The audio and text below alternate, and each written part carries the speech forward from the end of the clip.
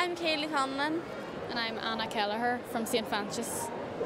Tell me a little bit about your project then. Who wants to take that first? Um, we're testing the soil to see if there's any traces of radiation fallout from the Chernobyl accident and whether it poses a risk to public health. And what did you find? We found out that the Mourne Mountains were meant to be higher than the Derryveagh Mountains in Donegal, but the um, the Derryveagh Mountains were a lot higher than the Mournes, which wasn't expected at all. Because the Derryveagh Mountains haven't, we've never found records of them being tested before where we were, and we found them, they were a lot higher than what we expected. From a layperson's view, then explain to me how you tested. How, how do you find out? Um, well, we went out and sampled like peat bogs up in highland areas with our auger, and we put it down and swirled it around and then pulled it back up. With Then there was a soil sample in it. Then we um, measured 20 centimetres and put them in bags and took them back to the lab to test.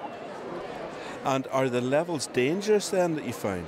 Well, we sent the sam- our highest samples off our, off to the RPII, and they said it was 15 becquerels, and it has to be a thousand before it's considered dangerous. So it's practically insignificant.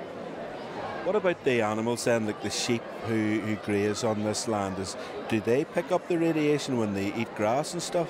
From our project last year, we discovered that they do because the lamb livers was quite high last year, so we think that that's to do with it a lot. So this was really then um, taking your project last year to another level, was it? It, it was just carrying on from last year. We did food, so we did the soil to see if the soil affected how the radiation got into the food.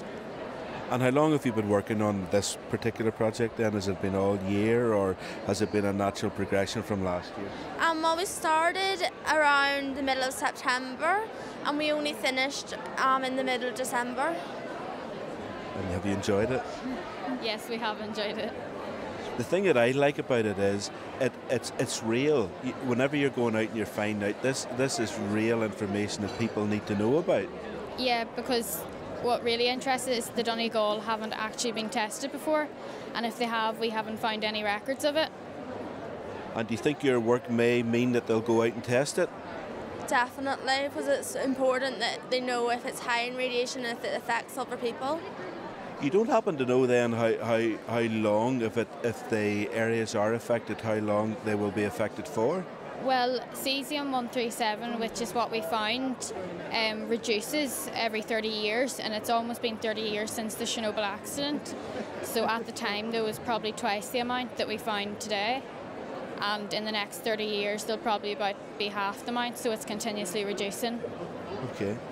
It sounds fascinating, absolutely brilliant. Just answer one question for me before we start. How important do you think it is for students like you to study STEM uh, subjects? I think it's quite important because you need most of the subjects from STEM for daily life, and like if you want to get a good job when you're older. I agree. It's like it's important, and there's quite a wide variety in STEM. Great. Thank you very much for talking to me. Okay.